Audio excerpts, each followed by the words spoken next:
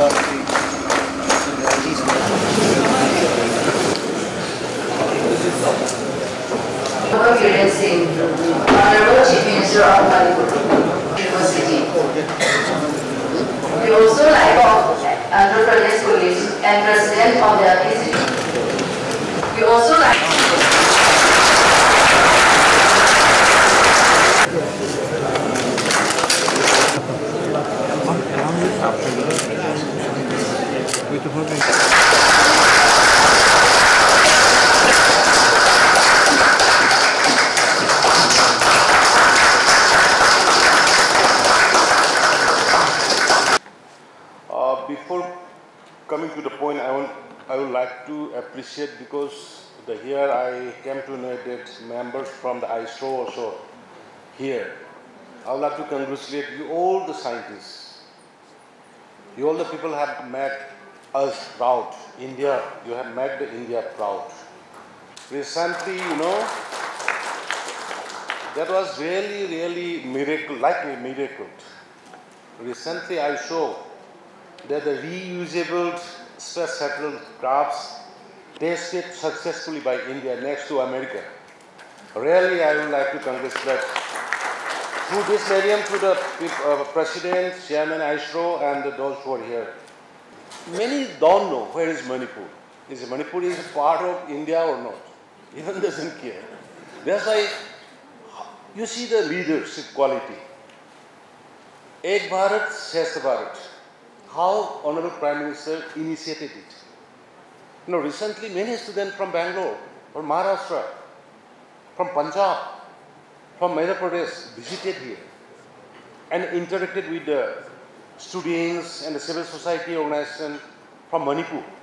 And our teams also from Triple IT, IIT, Manipur University, we are sending them to outside under the visionary leadership of the Honorable Prime Minister.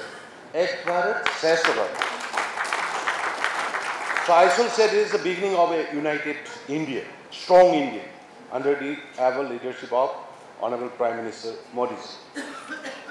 So coming to the point, Industry 5.0, also known as the fifth industrial revolution, is a new and emerging phase of industrialization that sees humans working alongside advanced technology and AI-powered robot to enhance workplace process. You will be very happy to know, just I want to convey one information from my state also. Our state is very small, but hilly terrain is very difficult to reach out, the far-flung areas. But recently what we have done, you know, ICU facility through Delhi ICU facility we have provided to all the district headquarters in the internet part. And a special doctor will be at the Imphal at RIMS or JNIMS and he will instruct through device and the operation has already been held in all part of the district headquarters through ICU. So these are the changes which is taking place under the able leadership of Honorable Prime Minister Modi ji.